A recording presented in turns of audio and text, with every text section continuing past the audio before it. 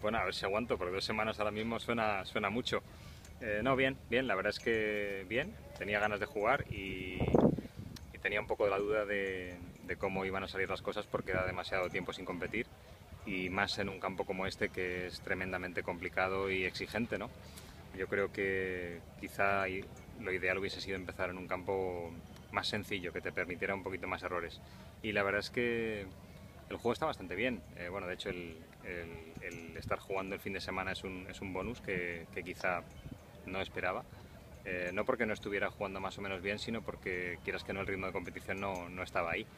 Y sobre todo el primer día jugué excepcionalmente bien y los dos últimos días no he jugado nada mal, lo que ocurre que bueno, la parte más fina del juego, que es el alrededor de green y en el green, no ha estado igual de fina. Hoy, por ejemplo, todos los bogies que he hecho han sido pues pequeños fallos en cálculo de distancia y no meter los pads que tienes que meter, pero en general contento, la verdad.